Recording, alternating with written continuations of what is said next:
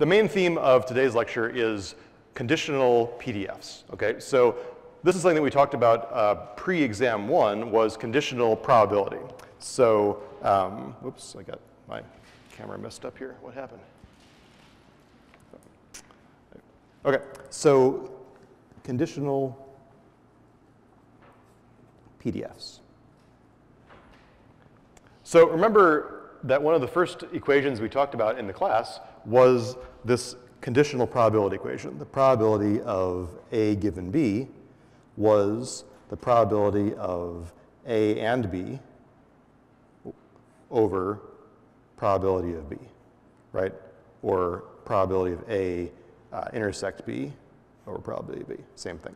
So we had this kind of idea that if I had the sample space and I had two events, A and B, and I told you that uh, B happened, and then I know what's the pro- I want to know what's the probability that A happened, right? And so the kind of the idea was that I would take the fraction of stuff in the overlap region and think about it as kind of a ratio of um, that over the whole thing, right? So in this case, I drew this as probability of A given B. That's like saying I tell you that um, I tell you that B happened, right? And now I want to know what's the probability that A happened. And so there are some events where A and B both happened, and some events where just B happened by itself, and the conditional probability is basically the ratio of those two areas, right? And so at the time, we were just talking about this basically in the context of uh, events, and I guess we did talk about this a little bit in terms of, I think we talked about conditional probability mass functions, right? So something along the lines of saying, you know, I flip the coin and I say, what's the probability distribution given that at least two heads occurred, what's the conditional PMF, right? We talked about that a little bit already. Uh, and so now we can kind of revisit this idea in the context of PDFs and joint random variables. So now we've learned a little bit more, and we want to know how we can apply this conditional probability idea. And so there are lots and lots of applications of this concept to real world decision making. So um, the stuff we're going to talk about kind of post exam two is getting a little bit more into the beginnings of, you know, like what might be lecture one in a class like pattern recognition or machine learning or, um, you know, there's a class called, um, well, I guess pattern recognition is a, good, is a good example. There's a class called detection and estimation. These are kind of like, you know, 4,000, 6,000 level classes, and what you're seeing post-exam two is kind of like some of the introduction to stuff that you might see there, okay? So, for example, you know, some applications are things like um, you know, if I have X is the input to a communications channel, and Y is the output of the channel, I want to know something like, you know, what is the best estimate of X given that we saw Y? And so the definition of, of best is going to vary in a couple different ways, as we're going to see in this lecture and in some other lectures, right? So, for example, I've got some sort of a, a noisy communication channel that's noising up the stuff that I put into it, and I want to know, you know, how can I denoise the output to get the best estimate of the input, right? So one example might be some sort of like a, you know, a communication systems where letters are coming across the channel, right? And I want to know, okay, well, uh, you know, I received uh, CBU, right? And that's not an English word, and I want to say, okay, well, you know, if these letters were flipped by like one letter, maybe a likely outcome would be CAT instead of CBU. And so there's questions about like, how do I decide, you know, given how things might have been flipped or noised up, how do I figure out what the correct input might have been, right? So that kind of comes up all the time in communications theory. Or you might ask something like, um, you know, in a more kind of continuous sense, you might say, or like n is the number of arrivals in uh, some interval, and t is the service time it takes for every arrival. And that might, know, might want to know something like, you know, what is the probability that there are uh, no customers arrive while a given customer is serviced, right? So this might have an application in terms of, you know, how many tellers do I need at my bank, or how many uh, TSA people do I need at a security checkpoint, or how many, you know, how much uh, capacity does my router need to have for all the internet traffic that's going on in my school, right? So that's kind of the basic idea. Um, and so we did talk about conditional probability mass functions already. So let me just revisit uh, what we talked about before. So kind of um, remember, uh, we had basically like conditional PMFs. This is like the discrete case, right? So we define something like, you know, what is the probability of y given x of an outcome yj given that an outcome xk occurred. Now we didn't, we didn't actually talk about quite like this at the time, but I think now you can understand this in terms of joint variables and uh, random variables instead of events.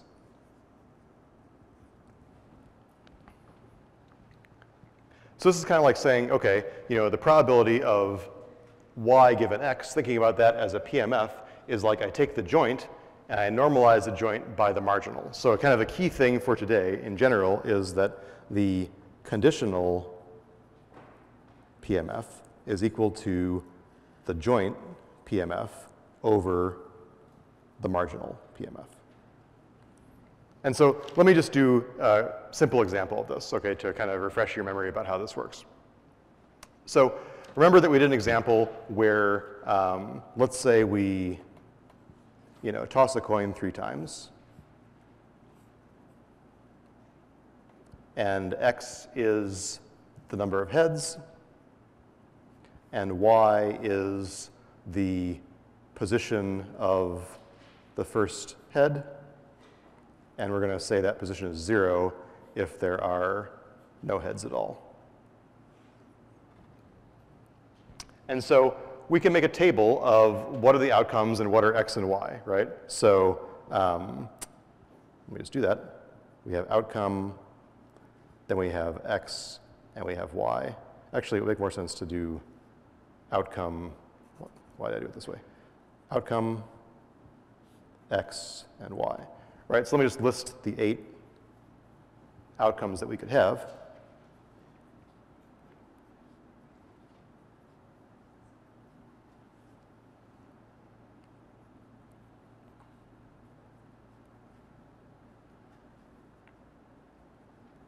right? So x is the number of heads, and I can make my table of x pretty easily.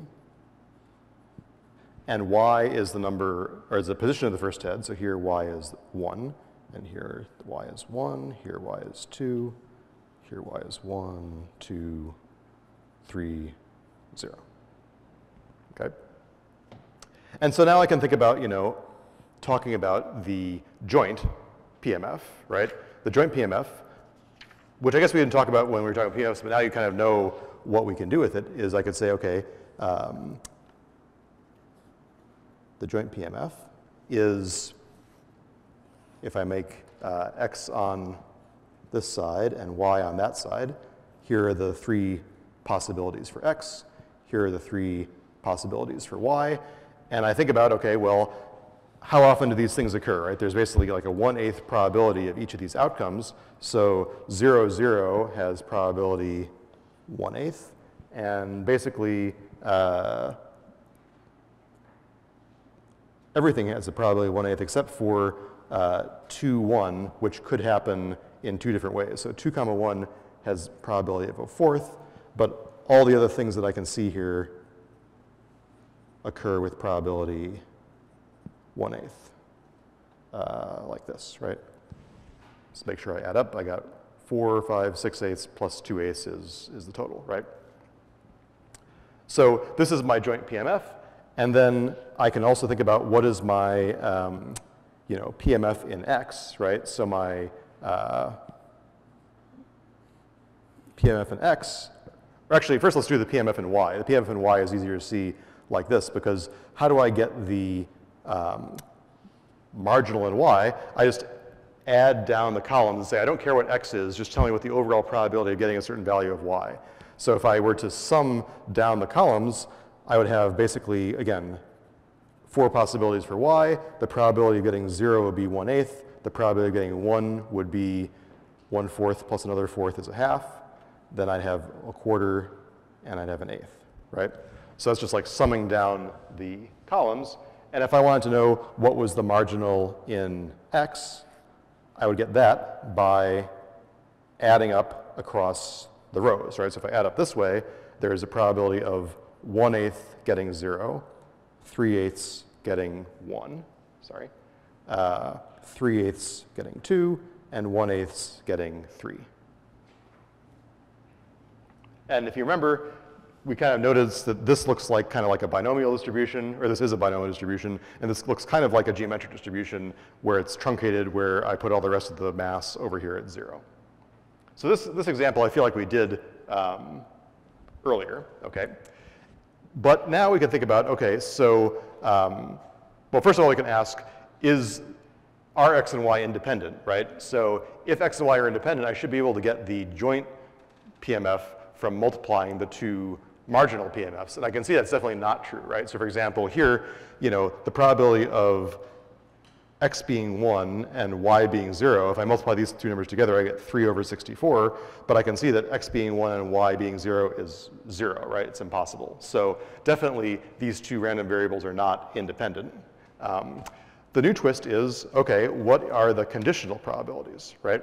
So what would be, for example, um, the probability of y given x?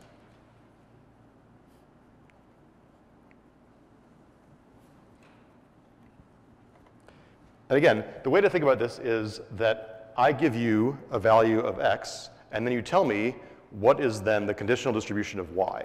Okay, so we're going to look at something that's like uh, p of y given x of some value of y given some value of x. And this is what we get by taking the joint and dividing by the marginal.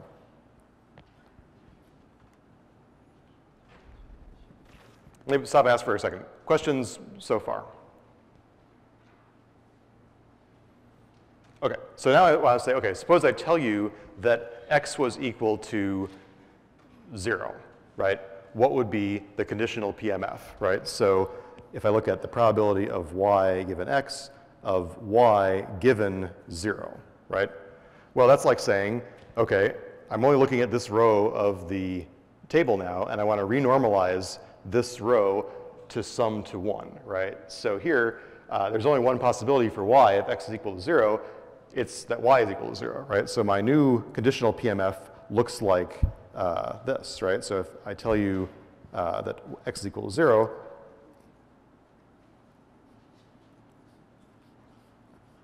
suddenly I get a much simpler PMF, right? This is like saying that, you know, there's only one possibility, right? I get zero. If I were to ask about the probability of y given x if x is equal to 1, then I would have a table that looks like my possible values of y. And now I'm just looking at the one row of the table, right? Like this. So I normalize this by the sum of the elements of the row. I, and actually, a different way to think about this is that I normalize it by the marginal, right? So it's like saying, consider the case when x is equal to 1.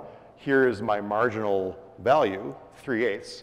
So I take my PDF along this, or I take my uh, joint PMF along this row, and I divide by this marginal to kind of normalize things. And that's like saying now I have a one-third probability of each of these things happening. So a conditional PMF is always a valid distribution, right? It always sums to one. So you're just basically thinking about rebalancing things so that they sum to one. And kind of conversely, if I wanted to say, okay, you know, what's the probability, like the conditional probability of uh, x given y, so I'm sorry, I'm gonna have to move this paper because I wanna keep this joint on the, on the board here.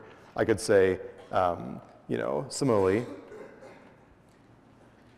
you know, the probability of x given y is like uh, normalizing a column.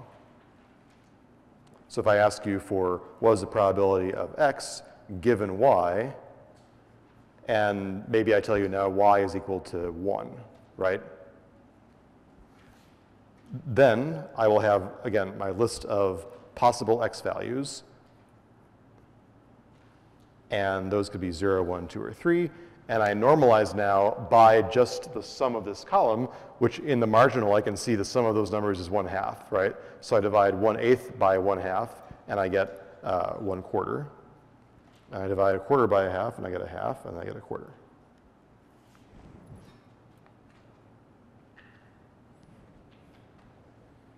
And so just to write down what I said before, conditional, you know, PMFs are just a, another type of PMF, meaning that uh, they sum to one, right? They are a valid PMF.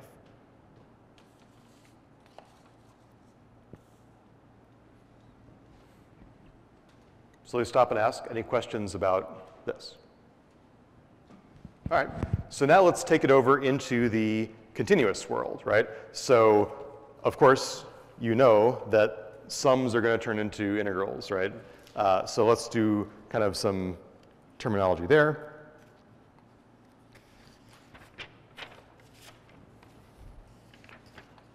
So um, in the continuous world, let's just, uh.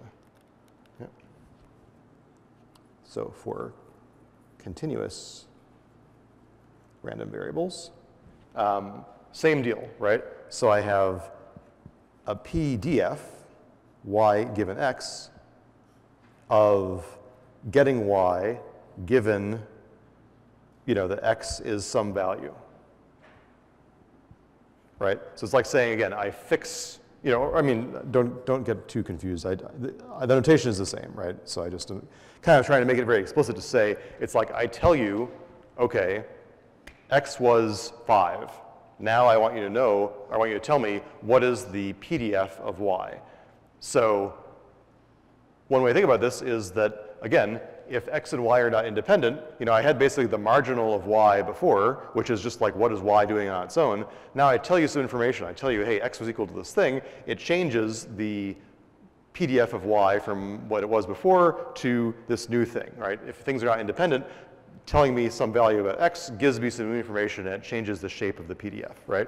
And the definition is exactly the same, right? That's like saying that I have the conditional PDF is equal to the joint PDF divided by the marginal. Let me just write that down again. Conditional equals joint over marginal.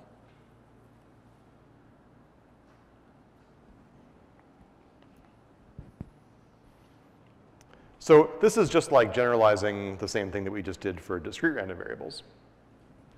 So just to make it really clear, a couple things fall out of this, right? So consequently, if I just rearrange this formula, a different way of saying this is that the joint PDF is equal to the conditional PDF times this marginal. Or I could rearrange things in the other way and say like this.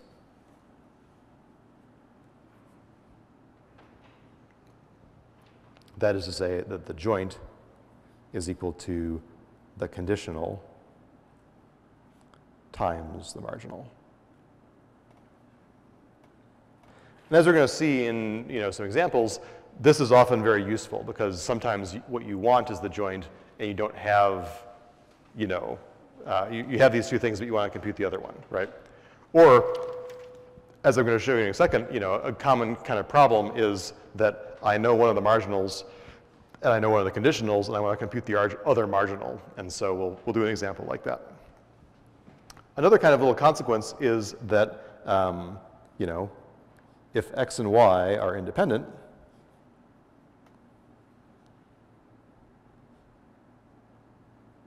then that means that um, the joint decouples into the product of the marginals, right?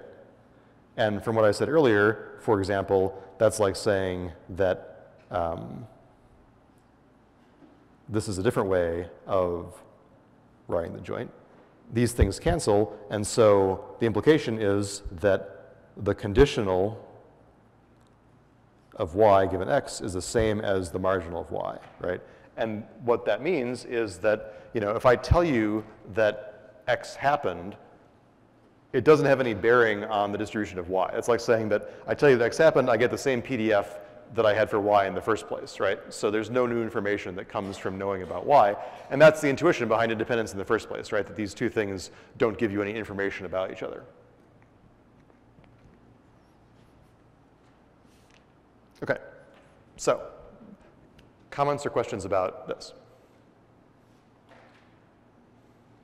All right, so let me do an example. This is like the, the classic kind of uh, conditional probability example here. So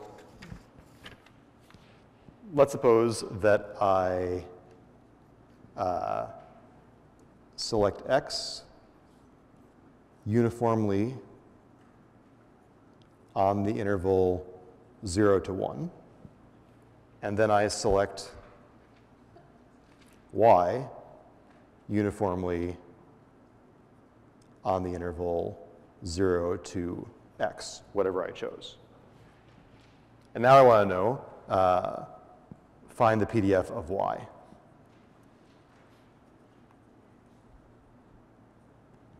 Okay? So what have I told you, right? I've kind of told you the marginal in x, right? And I've told you the conditional for y given x, right? So let me be a little more precise about that. So what we know is that the PDF of x is equal to basically uniform distribution on 0 to 1.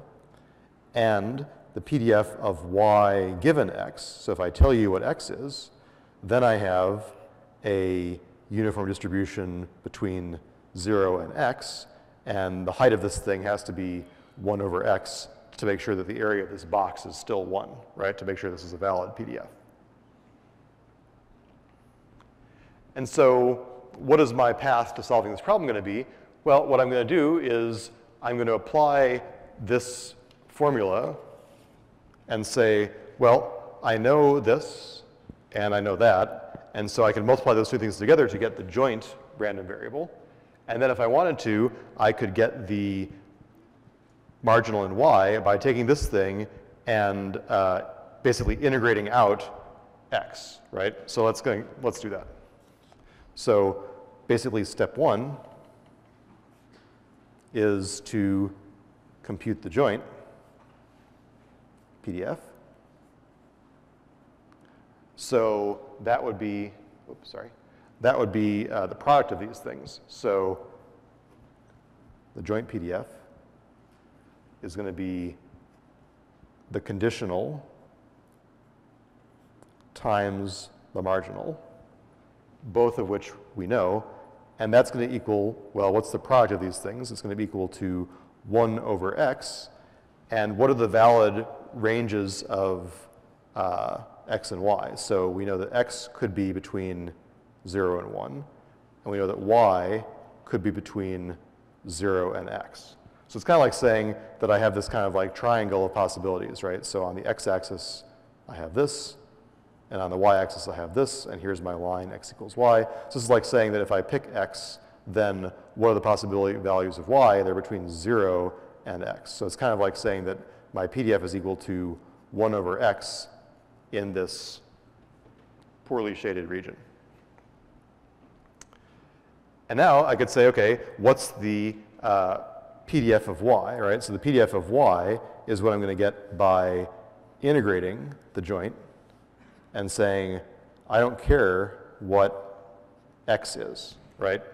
That's like saying, I'm going to go along my uh, possible values of y, and I'm going to integrate up all of the probability mass going in these horizontal line directions, right?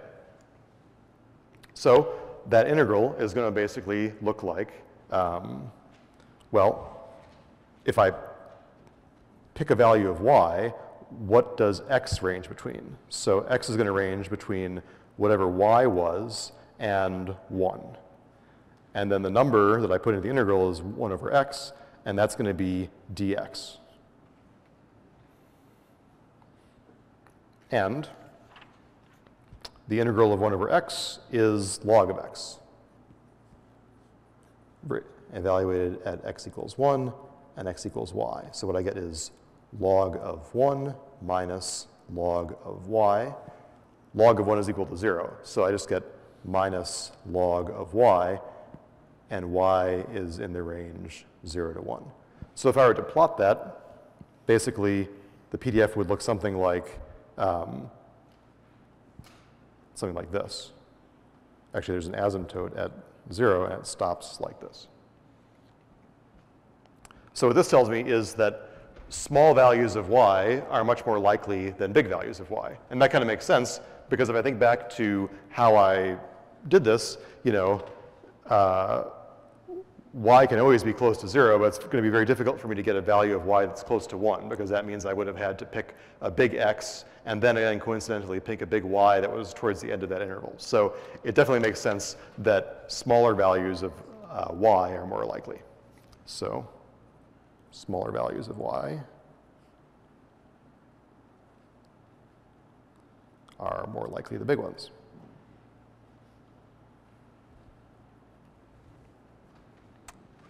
So questions about this example, the idea of it or the mechanics of it? Okay, so this is kind of like your typical, oh. y is the integral from x equals y to x equals 1. That comes from this picture, right? So it's like saying that if I fix the value of x, what does, uh, did I do this wrong? Oh, I'm sorry. So I fix the value of y. I want to know what's the PDF of y at this point. So if I fix the value of y, what does x range between, right? This is the line x equals y, right? And this is the line x equals 1.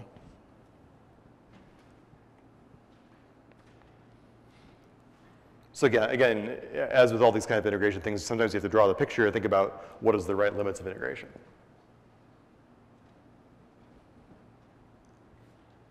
Other questions? Okay, so um,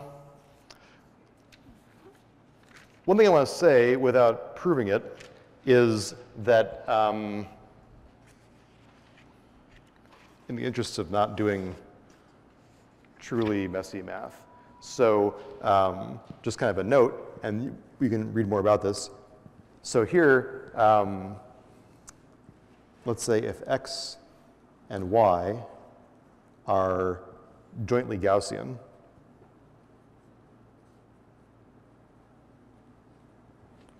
let's say that they have zero mean to make life easier. And um, let's say that they also have unit variance. And then they have uh, the correlation coefficient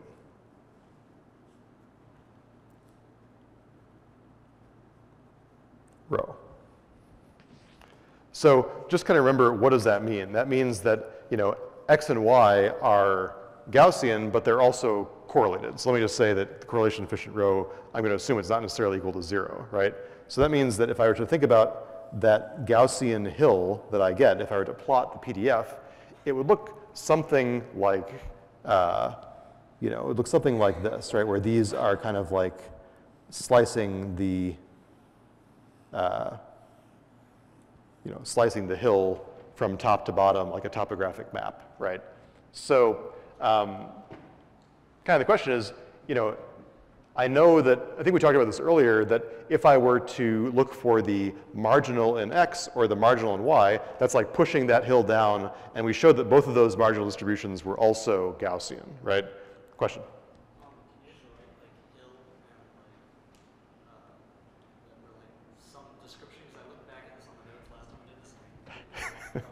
You just thought it was like a bullseye of some sort? Okay, so this is like X, this is like Y, and this is kind of like uh, iso probability contours, right?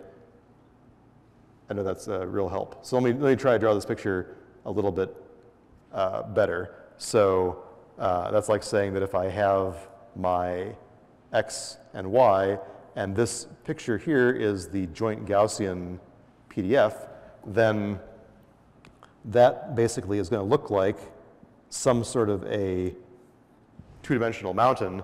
And what these red circles are meant to represent are the you know, things I get by chopping that mountain like this. Yeah, you like that? I should have done that the first time? Okay, it's a nice picture.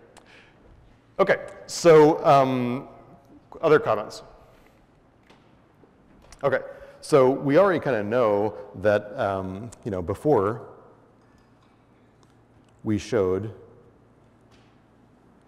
that um, the, the marginals are uh, also Gaussian. And certainly, you know, the marginals have zero mean also, right? So if I were to push this guy down, then the center of this distribution, because it's kind of like half of it's on this side, half of it's on this side, clearly the mean is still going to be zero if I push it down onto the x-axis or the y-axis, right? Um, so they're also Gaussian and zero mean. Um, but it turns out that you can show that, um, you know, what would I need to do if I wanted to figure out the joint, right? Or the, I'm sorry, the conditional. The conditional would be like saying, okay, uh, I would have to take the joint PDF and divide it by the marginal in X, right? And I could do that, and it would be tedious. I'm just going to give you what the result is in this example. Um,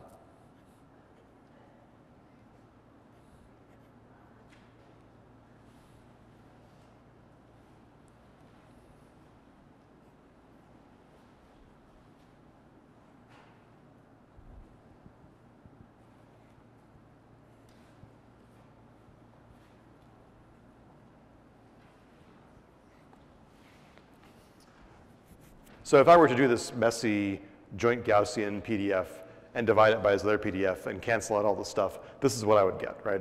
And I'm, I'm saving you my, you know, complicated uh, derivation of this, right? Um, what I would get is, this is actually, again, a Gaussian. So this is basically a Gaussian with uh, mean. Well, the mean is going to be uh, rho x, right? Because this is like what plays the role of mu.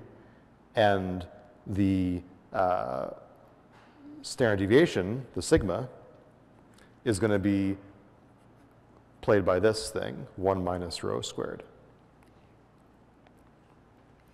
And so what this is saying, just as a side note, is that if I tell you what x is, and then I ask you what is the conditional PDF, it's not the same as the marginal, right? And the reason for that is that the, the rho is not necessarily equal to zero, right? If these two random variables are correlated, then telling me something about x will change my density in y. So it's kind of like saying, okay, suppose I told you that x was this value here, right? I told you that x was right here, and now I think about, okay, well, here are my possible values of y, and clearly now things are going to be a little bit offset, right? So um, you know, there's going to be more probability that things are happening above the x-axis than below the x-axis. So if I were to think about, you know, this is like the line, uh, this is like a square here. That's like kind of saying that, you know, the marginal is going to look like, um, this is tricky to draw. You know, something like this. So when I, when I redraw the marginal in y, it's like saying it's no longer centered at the middle, it's centered at y equals rho times x. It's centered at a different place. So actually, s is not centered exactly at x. This is like x. This is like rho x. All I'm trying to say here, and don't, don't get too hung up on it, is that you know, the conditional PDF is offset towards x if the variables are correlated. Or, or are, well, I guess correlated is the same as not being independent in this case, right? So depending on how correlated they are, you know, I could be very different than the marginal, right? Because I know the marginal is always going to be zero mean, but here if I tell you, okay, x was 50 and the correlation was, you know, one half, then the mean of the conditional PDF is going to be 25 and not zero. So again, that kind of comes from the fact that, you know, when things are correlated, you get, or when things are not independent, you get these kinds of relationships, right? And again, remember that for Gaussians, independent and uncorrelated are the same thing, so that's why I'm being a little bit loose with which one I mean. All right, so let me pause and ask questions about this. This is more of an algebra exercise than is a, um, you know, it's, it's, just kind of like another application of, of what would it mean to look at the conditional for real values of, of PDFs. This would be too complicated to ask you to do on an exam because of how tedious it would be. But, you know, I'm, I'm going to ask you to do something similar on the homework where, you know, again, it's kind of just like the problem I gave you with uniform random variables, except it's going to be with exponential random variables. And so you have to do kind of like this, you know, compute the joint, divide by the marginal to get the conditional, just to kind of get you used to working back and forth between these things. Okay, so let me then go to some stuff that's a little bit more uh, real worldy, okay? And so this is, again, kind of the beginnings of, well, we're going to talk about things like hypothesis detection or hypothesis um, testing, right? Um, which I think is, is kind of cool stuff, and definitely stuff that is uh, not just like textbook material, but you know, real world stuff. And so let me give you the kind of uh, classic pattern recognition. This is like the pattern recognition book by uh, authors named Duda and Hart that I learned from when I was in grad school back in the day. I don't know if they still use it, but this was like page one of that textbook was an example about uh, distinguishing between two different kinds of fish, okay? And so I always remember this example because it's got salmon and tuna. So uh, here's the example, classic Duda and Hart example. Which is basically saying, supposing that you didn't know anything about a fish, but um, let's say I observe the length of a fish as it comes down my conveyor belt or whatever, and let's call that uh, x, okay?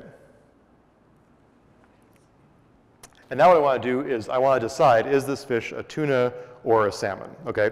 And suppose that I've, you know, been able to obtain the conditional PDFs of X given these uh, possibilities, right? So for example, you know, I have one PDF that says this is the uh, PDF of uh, X given salmon. And then I've got another PDF that is X, I guess, X given tuna. okay? And now I see a fish, and I want to know which one is it more likely to be, right? Which fish is it? And so there are a couple ways of, of thinking about how to solve this problem, okay? Uh, and so the best, well, okay, I shouldn't say best. A, a, good way to think about this problem is in a Bayesian framework, okay? So we're gonna go back to Bayes' rule and say, okay, you know, well, if I'm going to make the decision about salmon and tuna, I also kind of need to know what is the proportion in the population of salmon and tuna, right? So I mean, uh, it could be that if there were five times as many salmon as tuna in my river, then I should kind of have that prior probability that salmon is five times more likely, right? And then seeing this new bit of information, the length, is going to kind of rebalance my understanding or my estimation of whether it's one or the other, okay? So a Bayesian approach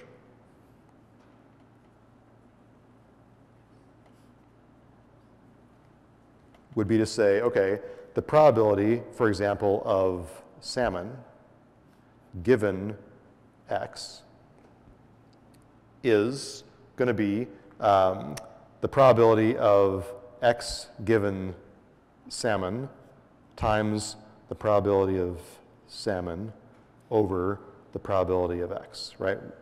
Why is that, right? This is, again, just a reframing of the way that conditional and joint probabilities work. So if I go back to my, um, you know, if I go back to my examples, this is one of the first things we said is that, you know, I can take the joint and I can either write it like one conditional times one marginal or the other conditional times the other marginal. And that's exactly what I've done here. I've basically said, you know, salmon given x times p of x is the same as x given salmon times p of salmon, right? So it's just a way of rewriting what is the, what is the joint, right? And so these, um, if I'm going to write this a little bit more like in terms of probabilities, this is kind of like the conditional probability of a continuous number given one of these classes, right? This is like a number, and here I've got like more like a discrete random variable, either salmon or tuna, right? So here, x is continuous, but salmon or tuna is discrete.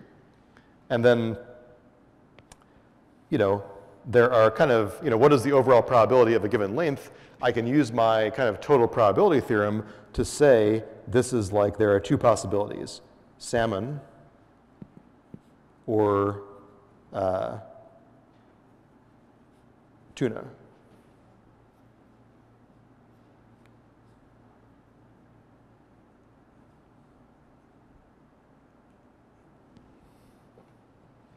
So here the denominator I'm getting from what we originally called the total probability theorem.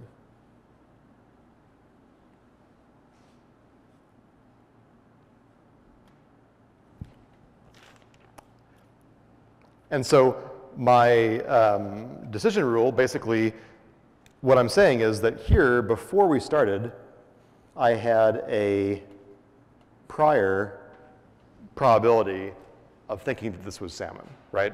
Based on, for example, the population of salmon and tuna in my lake. I guess probably salmon and tuna are not found in the same places, but this is a you know, toy example, right? This here is called the likelihood. This is like saying, okay, these are the class conditional probabilities where if I tell you a certain class, then I know this picture of what should the PDF be like, right?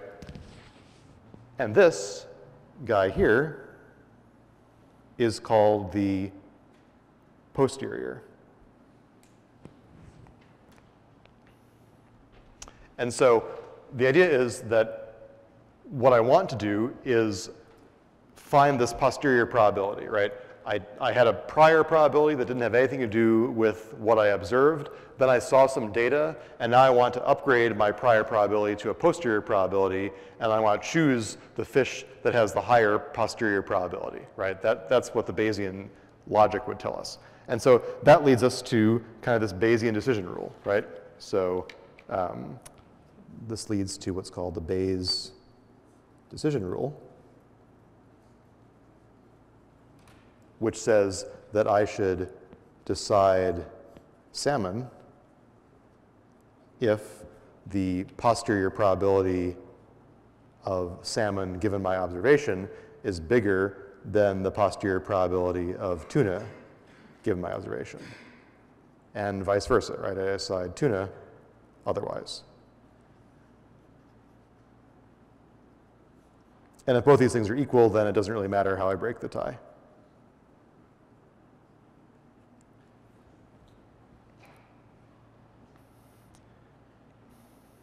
And so why is this good? So this basically, um, this rule minimizes the probability of making an error.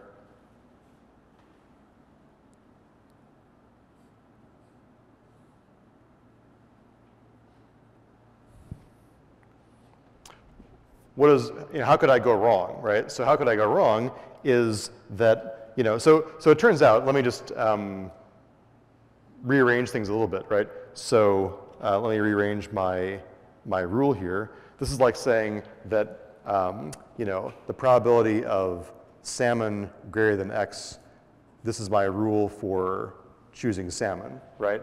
That's like saying, okay, my fx of x given salmon times the probability of salmon over the probability of x being greater than this conditional probability.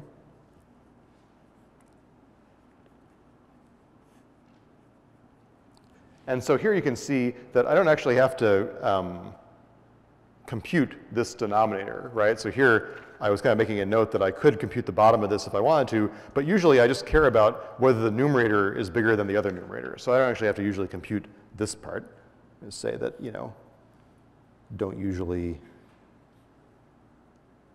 have to compute.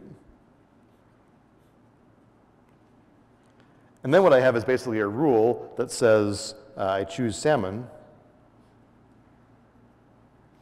if the PDF like this, I look, I'm basically looking at the ratio of these two conditional PDFs. And all I'm doing is re rearranging this top equation.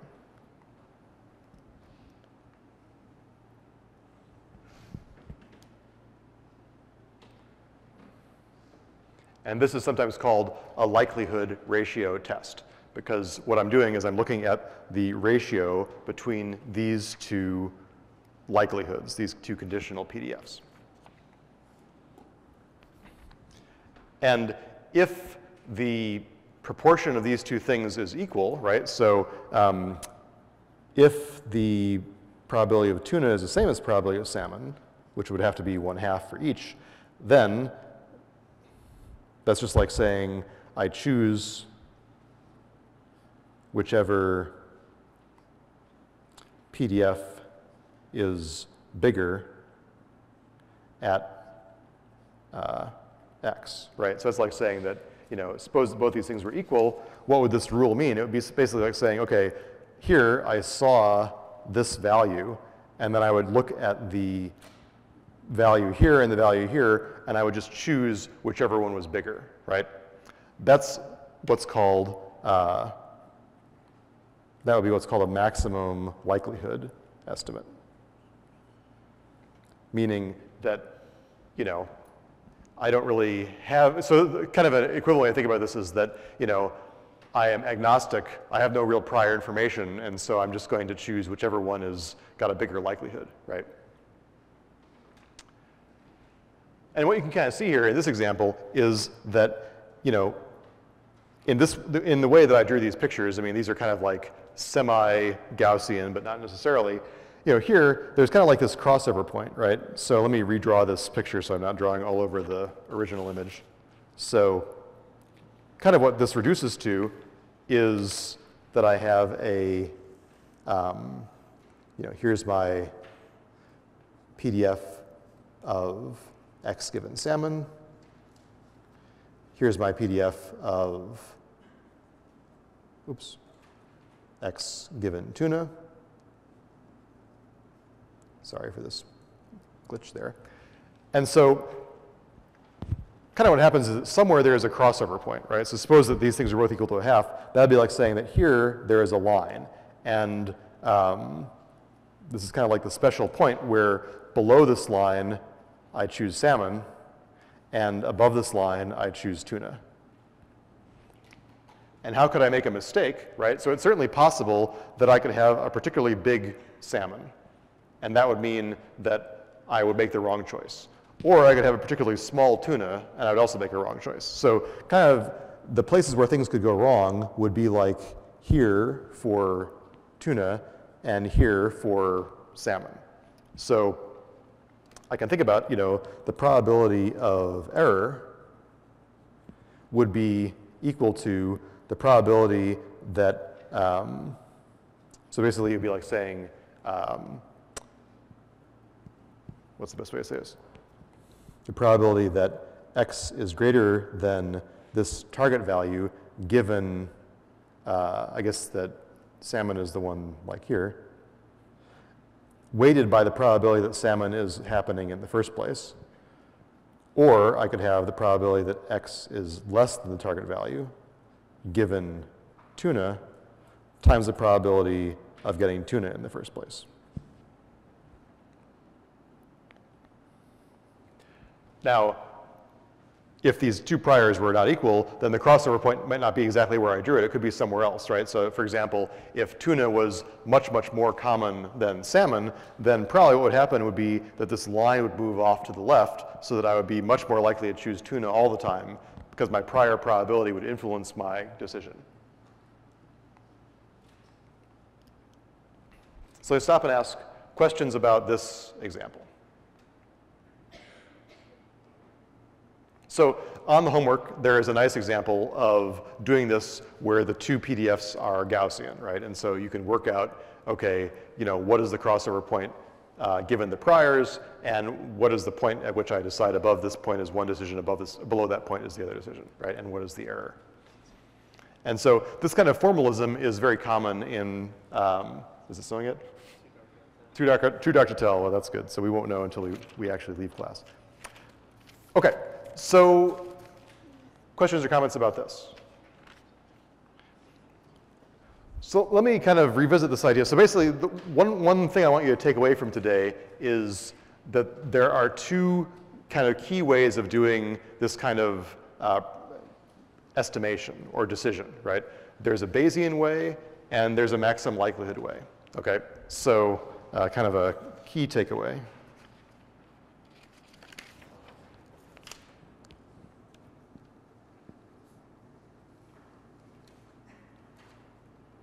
Is that there are, you know, two uh, important ways of making decisions or estimating parameters or living your life. Right? One is kind of a uh, Bayesian way, and the other is the maximum likelihood way.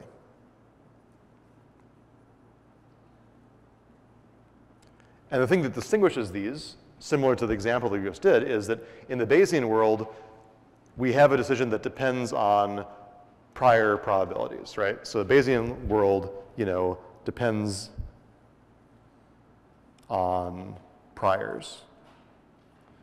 And, you know, it also depends on data. You know, I see some data, I see some priors, I make a decision, right? The maximum likelihood one basically kind of only depends on the data. It doesn't depend on any sort of priors. So let me do a couple more examples kind of in this maximum likelihood world, okay? And then think about how we would turn that into a Bayesian thing. So it's certainly usually easier to do maximum likelihood stuff, meaning that I don't have to worry about any sort of prior probabilities on anything, right? Um, so let's start talking about what's called um, maximum likelihood estimation.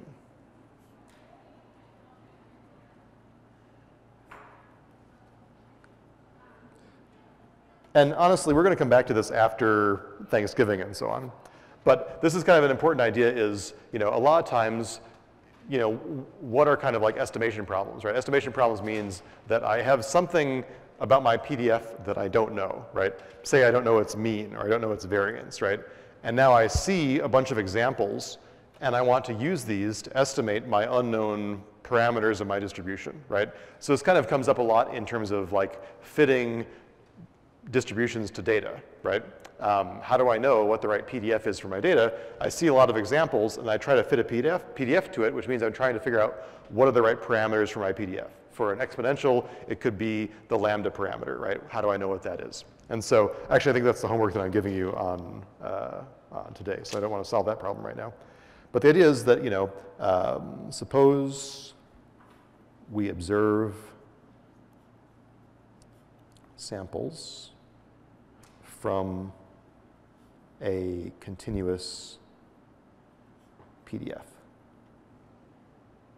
right?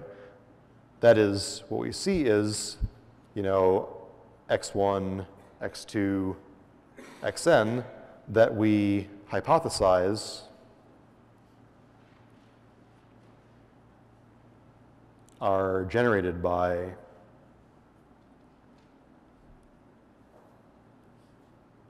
an underlying PDF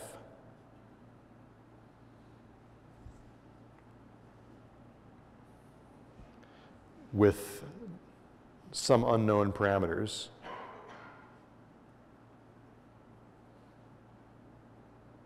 And let's call those parameters theta, okay?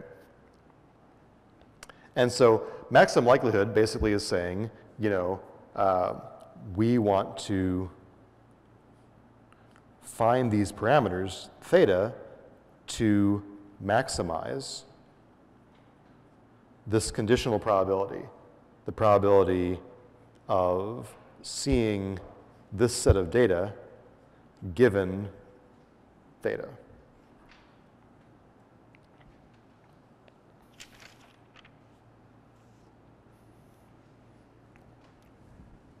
So just to do a, an easy example, or an easy-ish example, um, let's suppose that I am trying to figure out what is the uh, mean of this Gaussian, okay? So I know the underlying PDF is Gaussian, and let's suppose I also know what the variance is, and all I'm trying to estimate is what is the mean, okay? So, for example, suppose we know um, the PDF is Gaussian, and we know it's sigma. But we don't know this mu.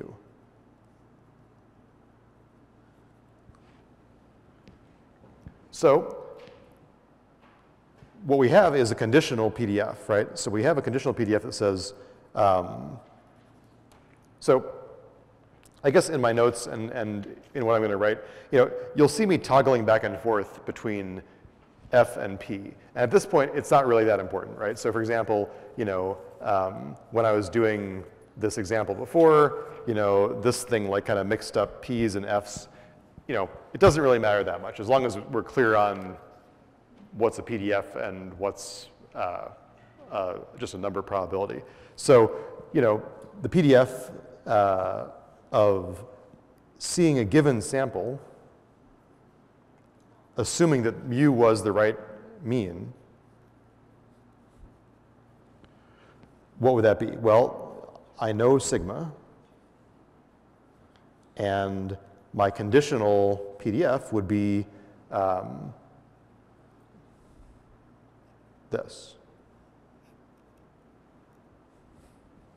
Right, this is just the Gaussian PDF, and I show you a sample xk, and then I uh, hypothesize that the mean is mu, okay? And let's suppose that I draw a whole bunch of samples, right? So I could be drawing 10, 20 samples, and this is just a PDF of one of those samples. Now, typically in these applications, you assume that the samples that you're drawing are also all independent of each other. That is, drawing one value does not have any impact on what the drawing the next value is. Otherwise, life would be really complicated, right? So if all the samples are independent,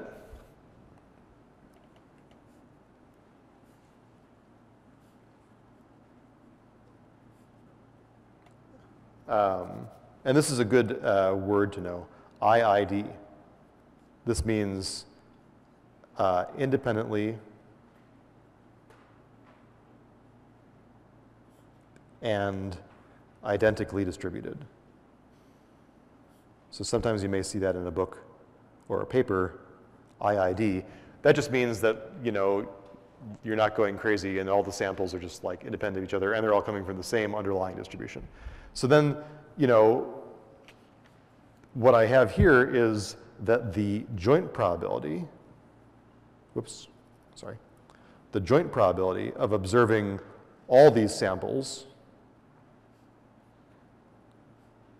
given this hypothesis about the mean. So here, this is like the joint PDF.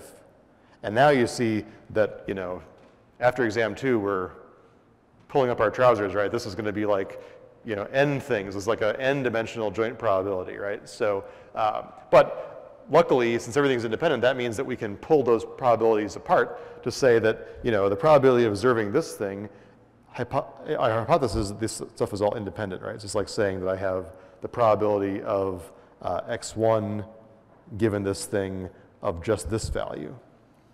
Uh, and then I have the next marginal. And so on. dot, dot, dot. So the idea is that I can pull out all these things, and these things are all basically the same PDF, right? So this is basically like saying, you know, I have the product from i equals 1 to n of the same PDF, 1 over square root 2 pi, sigma, e to the minus xi minus mu squared over 2 sigma squared.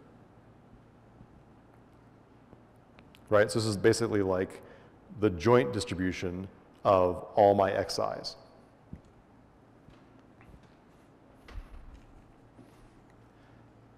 And now in a maximum likelihood estimation problem, I would say, okay, everything here is, is fixed and known except for mu, right?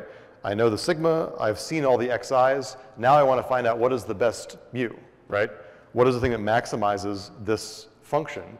Well, then I would take the derivative and set it equal to zero, right? Which, which could be a real mess. So luckily, you know, so to find the uh, mu that maximizes this uh, probability, probability, um, we would basically take the derivative d d mu of this mess and set it equal to zero, right? Now, this is again a little bit of a math trick, but the idea is to say that, you know, well, okay, I could, I could do that, but um, one thing to observe is that if I have this, uh, let's just take a look, for example, at y and log y. What does that look like? Well, if y is increasing, log y is also increasing. So basically, this is like a transformation from one thing to the other. If, if y is maximum, then log y will also be maximum. So, um, you know, since log y increases monotonically, meaning doesn't decrease with y, um, the theta that maximizes y will also maximize log y. Which means that I can take the log of this thing and life will be much easier.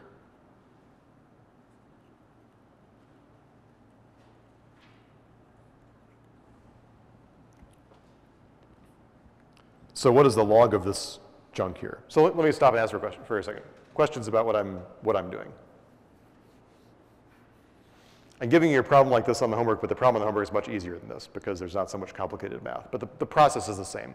You look at the joint PDF and you take the derivative with respect to the parameter and you set it equal to zero, right? In this case, since taking the derivative is a little bit messy, I'm finding a little bit of a back door into making my life a little bit easier. So instead of maximizing this thing, I'm going to take the log of this and maximize it. So what is the log of it? And sometimes, again, you'll see in papers and books the log likelihood. So the log of this here, well, remember that the log of a product is the sum of the logs, right? Again, this is kind of like a, an old log AB is log A plus log B, right? So um, here, this log of this thing turns into the sum from i equals 1 to n. The log of uh, this thing, which is just a constant, uh, plus the log of this thing, which is 1 over 2 sigma squared xi minus mu squared, like this. This is going to be much easier to take the derivative of, right? So now I'm going to do is I'm going to take the derivative of this thing. Derivative of this part is just zero because this is a constant. Derivative of this part is going to be uh, the sum from i equals 1 to n of 1 over 2 sigma squared. There's going to be a negative here. What's the derivative of this? It's going to be 2 xi minus mu times negative 1, because I'm taking the derivative with respect to mu. And I'm saying that equal to 0. So what I'm going to get is 1 over 2 sigma squared times this sum. Uh, I guess that this 2 can cancel with this 2, xi minus mu equals zero. Um, sigma squared now doesn't matter. So all I'm saying is that, you know, I have the sum of the xi's. I can take the mu out minus uh, n times mu equals zero. And so that means that the mu that I choose should equal to be 1 over n times the sum of the xi's. And this is just basically the average of the x's. So um, in hindsight, this all kind of hopefully makes some sense, which says that, you know, I estimate the mean as the average of the data, right? And that, that kind of stands to reason, right? So I, I show you a bunch of data and I ask you what is the, uh, you know, what's your estimate of the mean of this distribution? You would just take the mean of what you saw and that would be the natural way to do it, right? This is just the mathematical derivation of making that work, okay? So questions about this?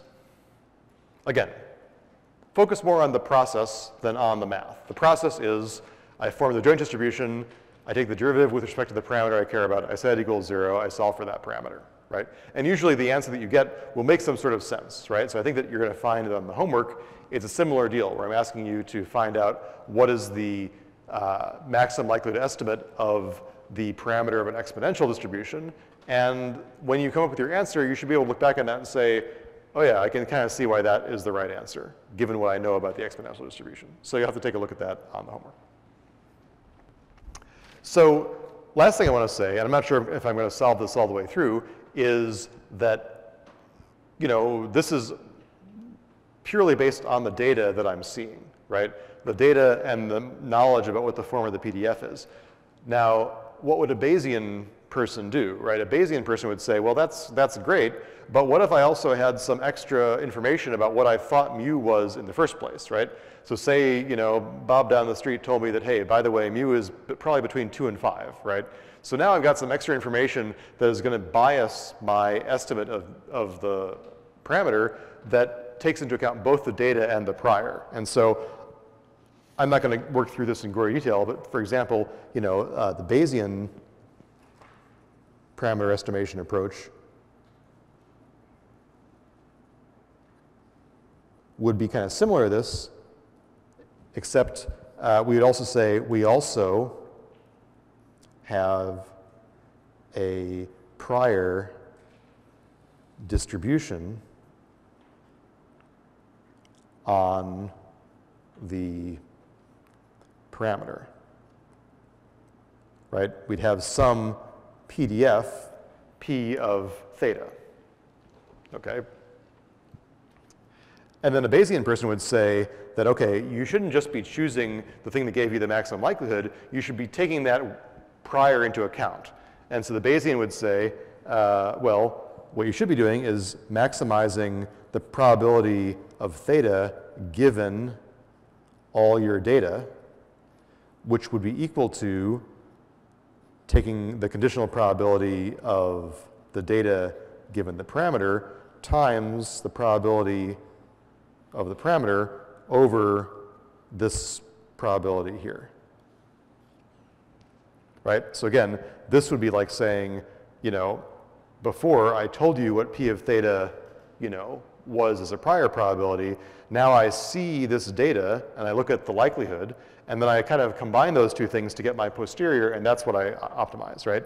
So basically, you know, the idea is here, if I maximize this,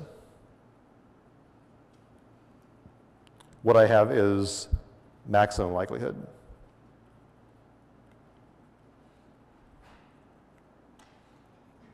And if I maximize this,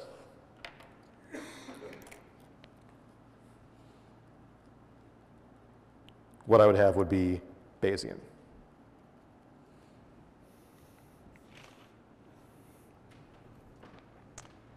And so we're going to kind of revisit these ideas um, after Thanksgiving because you know there are a bunch of different ways to think about parameter estimation. But this is kind of like you know the beginnings of if you want to take pattern recognition or intro machine learning or deep learning, right? You know, like all these kinds of things are important to kind of understand the relationships between conditional, marginal, joint, all that stuff, right? So um, hopefully that gives you a good introduction to that kind of thing. So questions or comments?